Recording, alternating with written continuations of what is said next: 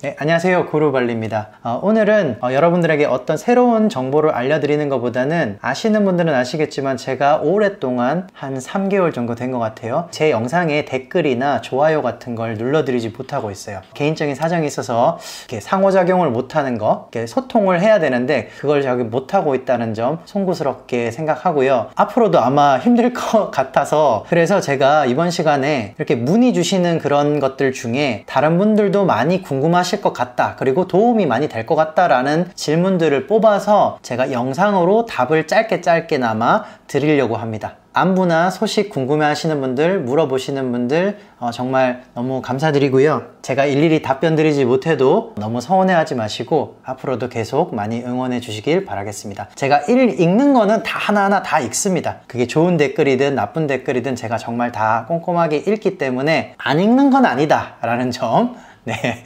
여러분들한테 알려드리고 싶었습니다. 자, 그러면 제가 이 남겨주신 댓글들을 보면서 그냥 의견을 남겨주신 것들 정말 감사드리고 그런 댓글보다는 어 뭔가 궁금해 하시는 점 저한테 궁금해 하시는 점보다는 인도네시아 전체나 발리에 대해서 뭔가 정보적으로 조금 궁금해 하시는 분들 제가 뽑아서 영상 답글을 남겨보도록 하겠습니다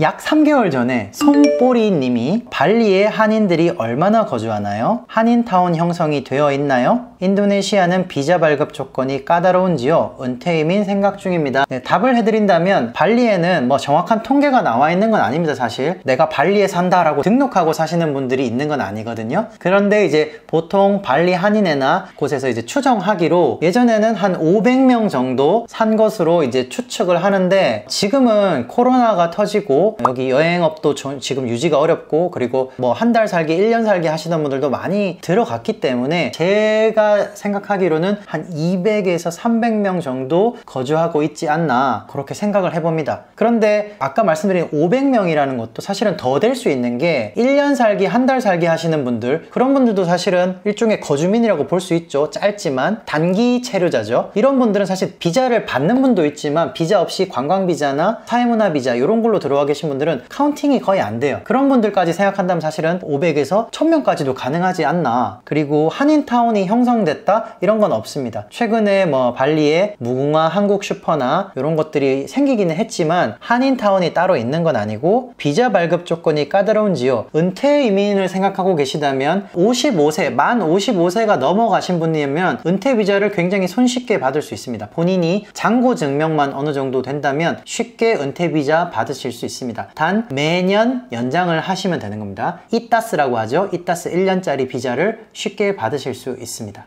I'll be back. 네, 그 다음 질문 이것도 약 3개월 전에 남겨주신 더 클래식 님이 발리 도사님 제가 발리 도사인가 봐요 발리가 언제 관광객을 받아주는지 알고 싶습니다 아 요거는 저도 알고 싶습니다 아마 올해는 좀 힘들지 않을까 라는 생각이 듭니다 nope.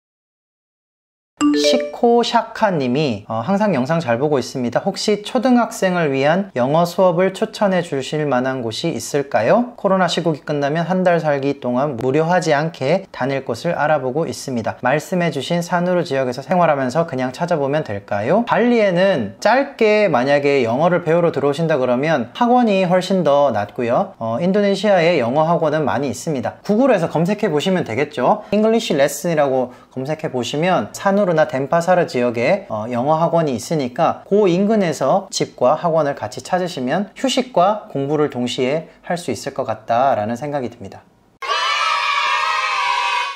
네, 그 다음 정헌식 님이 은퇴 비자로 발리에서 한인 식당 하는 오래된 분들 많던데요. 불법은 아닐걸요? 라고 남겨주셨는데 불법입니다. 은퇴 비자는 근로를 할 수 없는 비자입니다. 어, 물론 하시는 분들이 있을 수도 있겠지만 명확한 불법이라는 점 다시 한번 알려드립니다.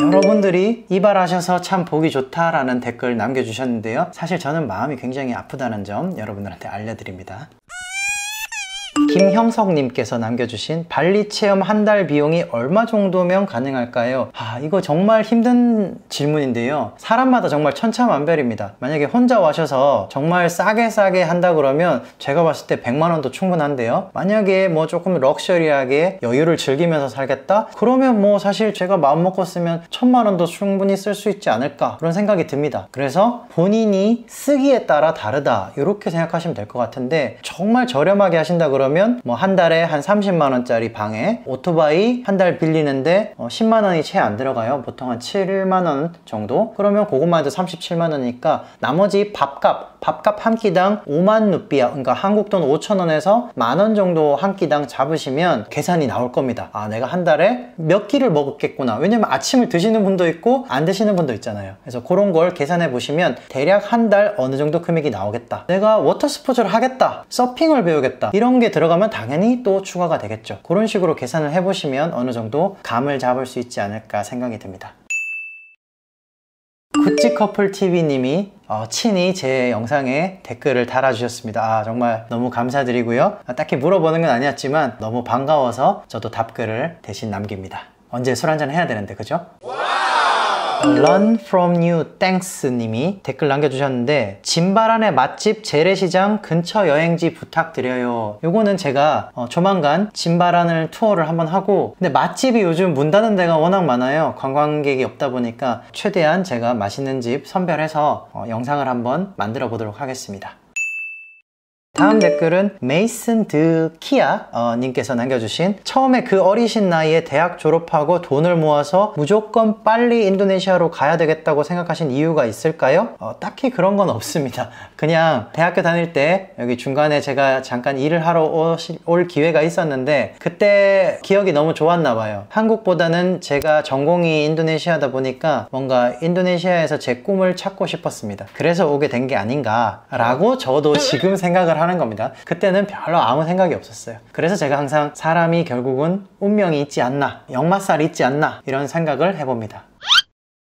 다음 댓글은 제이비님께서 남겨주신 롬복의 인터넷 속도는 어떤가요? 발리와 비슷한가요? 라고 남겼는데 뭐 제가 써본 결과 큰 차이는 없었습니다. 회사별로 속도의 차이가 있을 수는 있어도 뭐 롬복이라고 해서 더 인터넷이 느리다 이런 거는 없었던 것 같습니다. 그리고 김미경님께서 남겨주신 안녕하세요. 발리에도 외국인이 집을 지을 수 있나요? 외국인 집 지어서 사시는 분들 굉장히 많습니다. 단지 땅을 직접적으로 내 명의로 소유를 할 수 있냐 없냐 땅을 렌트를 해서 내가 집을 지어서 사냐 아니면 땅을 뭐 법인 명의로 구매를 해서 내가 집을 짓고 사냐 뭐 이런 차이점은 있지만 어쨌든 많은 외국인 분들이 본인의 집을 지어서 살고 있는 것은 사실입니다. 이 부분의 자세한 답은 중등부 1부 3학년 8반님께서 스즈흐님께서 코로나 괜찮나요? 라고 물어봐 주셨는데 아 인도네시아 지금 코로나 뭐 상황이 그렇게 좋지는 않습니다. 확산세가 뭐 전혀 꺾이지 않고 있는데 그나마 다행인 것은 지금 백신을 접종을 시작을 했다는 점. 단지 접종 속도가 굉장히 떨어지고 백신이 시노백이라고 중국에서 온 거죠. 시노백 시노팜이 백신이기 때문에 다음 댓글은 소디안님과 민삐초이님께서 아 문둑 쪽 발리 중에서도 문둑이라는 부두글 근처 지역이 있어요. 이쪽 투어를 조금 해주면 좋겠다. 랜선 투어를. 근데 제가 가고는 싶은데 지금 우기라서 비가 막 무지하게 옵니다. 그래서 비가 너무 많이 오기 때문에 요즘은 거기 가도 이 트레킹을 제대로 할 수가 없어요. 나중에 요거는 건기가 되면 그때 제가 한번 문둑 쪽 투어 트레킹 코스를 포함해서 투어 동선을 짜서 제가 한번 방문을 하고 찍어보도록 하겠습니다. 하겠습니다. 생산관리 2년차이고 1년 동안 언어 준비해서 인니 취업할 생각입니다. 생산관리 경력이 도움이 될까요? 아, 생산관리 도움 됩니다. 어, 제 생각에는 인도네시아가 아무래도 아직까지 농업과 제조업 기반이기 때문에 생산관리 경력이 분명히 도움이 될 겁니다. 그리고 기본적으로 언어가 돼야죠. 생산관리를 하려면 이 인부들을 잘 관리를 해야 될 텐데 그러려면 언어가 안 되면 생산관리 능력이 있어도 활용이 쉽지 않지 않을까. 그래서 언어가 충분히 되면서 생산 관리 경력이 있으면 나중에 취업하는 데 좀 도움이 되지 않을까 생각이 듭니다. 수업 조호정님께서 남겨주신 발리 만디라 리조트는 1일 사용료가 얼마입니까? 요거는 방 카테고리별로 금액이 조금 천차만별인데 지금 그나마 코로나 시기라서 프로모션이 많이 들어가서 제일 낮은 카테고리는 뭐 한국도 한 10만원 정도 그리고 조금 높은 카테고리 풀빌라죠. 저희가 투숙했던 풀빌라는 한 30만원 정도 2, 30만원 사이대라고 보시면 돼요. 그런데 만약에 코로나가 끝나고 정상 가격이라면 요거보다 한 2, 30% 올라갈 가능성이 있습니다. 위치가 어느 쪽이냐? 만디라 리조트는 르기안 비치입니다. 르기안 비치가 어디냐면 꾸따 해변과 스미냑의 그 사이 정도라고 생각하시면 돼요. 그래서 인근에 클럽 거리가 있죠. 그리고 해변이 바로 앞에 있습니다. 그래서 르기안 거리를 찾으시면 이 만디라 리조트가 어디 있는지 아실 수 있을 겁니다 다음 댓글로 신아구스님이 안녕하심, 안녕하세요. 26세 남자입니다. 발리 대학에서 어학연수하고 싶은데 추천할 만한 학교 부탁드립니다. 비용도 알 수 있을까요? 라고 남겨주셨는데 어, 인도네시아 발리 대학교 중에 인도네시아어를 공부할 수 있는 비파 과정을 운영하는 곳은 딱 한 곳 우다야나 국립대학입니다. 우다야나 국립대학에서 보통 3개월 한 코스죠. 한 학기 수업 듣는데 금액이 아마 크게 안 변했을 거예요. 1000불. 한국 돈 100만원에서 110 10만원 정도? 예, 1000불이라고 생각하시면 됩니다. 네, 그런데 만약에 어, 이 대학에 안 가고 일반 사설 학원이나 또는 일반 개인 레슨을 통해서 배우시는 분들도 많기 때문에 어, 요거는 뭐 개인이 어떤 성향을 더 좋아하냐 여러 명이 듣는 클래스를 좋아하냐 아니면 내가 개인 레슨 1대1로 내가 정말 궁금해하는 부분만 바로바로 물어보는 걸 좋아하냐 어, 요거에 따라 선택하시면 될 것 같아요 네, 그 다음 강원희님이 아, 포항 시골입니다. 크크 남겨주셨는데 제 고향이 시골이지만 어, 제가 이번에 가보니까 그 정도까지 시골은 아닌 것 같아요. 제가 포항에 살 때는 롯데리아밖에 없었어요, 사실. 근데 요즘 가보니까 진짜 별의별 패스트푸드랑 어, 이런 프랜차이즈들이 많이 들어왔더라고요. 그렇게까지 시골은 아닙니다. 네. 네, 다음 댓글로 초이 크리스님이 안녕하세요 구루발리님. 설명해주신 내용의 법인 설립 비용이 8천만 루피아라는 게 그냥 말 그대로 설립 비용인 거지요? 네 맞습니다. 서류 비용입니다 서류 비용. 여기에 이 8천만 루피아라는 비용에는 뭐 임대료나 뭐 가게 인테리어 비용 뭐 이런 거 전혀 포함되지 않고 순수하게 설, 서류 설립 비용 컨설팅을 맡겼을 때 본인이 직접 하는 비용 아닙니다. 컨설팅이나 대행사를 맡겼을 때 보통 들어가는 비용이 약 8천만 루피아 정도 한다라는 거 생각하시면 되고 투자 비용이 100억 루피아라고 하시던데 그럼 실질적으로 100억 8천만이 유일하게 합법적으로 인도네시아에서 사업할 수 있는 방법인가요? 아, 여기서 말하는 그 투자 비용 100억 루피아는 인도네시아 정부가 외국인이 투자한다고 했을 때 정관상에 내가 얼마를 투자하겠다라고 그 기재하는 금액 정관상 금액이죠. 그게 100억 루피아여야 됩니다. 근데 납입 자본금이라는 게 있잖아요. 납입 자본금은 그 신고한 자본금 100억 루피아의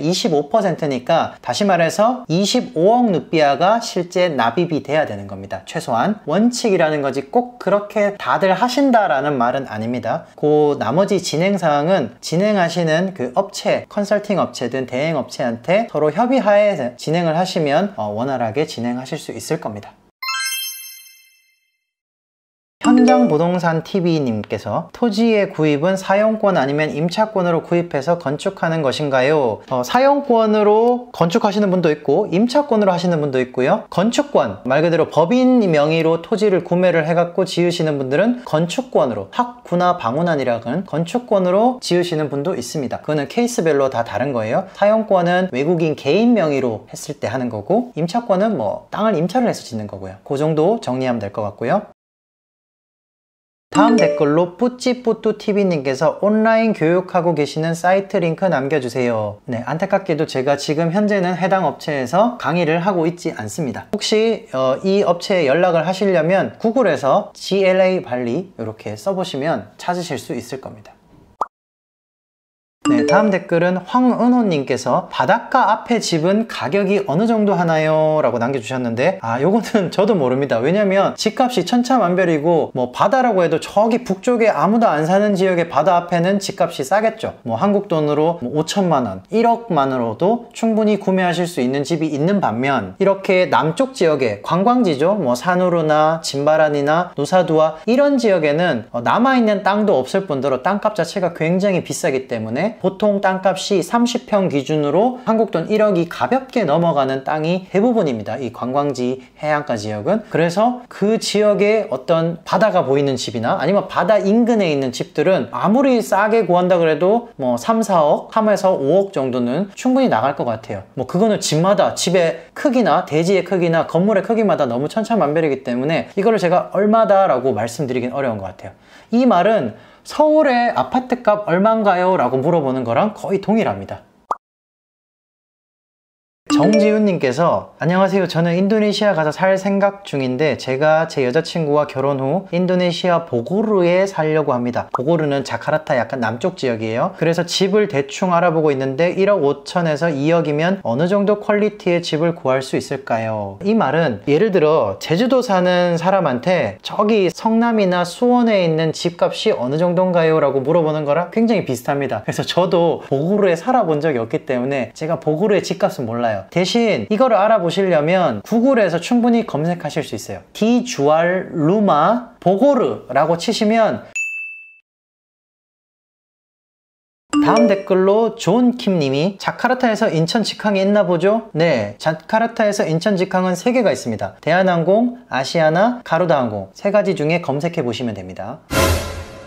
다음으로 김혜조님이 내 나이 70세인데 발리에서 한 달 정도 살고 싶은데 원룸을 구하려면 얼마 정도면 되나요? 답장 바랍니다. 자 원룸 아까 말씀드린 것처럼 본인이 구하기에 따라 천차만별이지만 싸게 구한다고 하면 어느 정도 주방까지 있는 30만원대의 원룸부터 50만원, 70만원대의 원룸까지 굉장히 다양하게 있습니다. 원룸 중에도 수영장이 있는 풀빌라형 원룸이 있고 그냥 아파트형 구조의 원룸이 있기 때문에 아파트형이 당연히 더 저렴하겠죠? 30만원대부터 한 70만원대까지 본인에 맞는 걸 찾으시면 될 것 같습니다.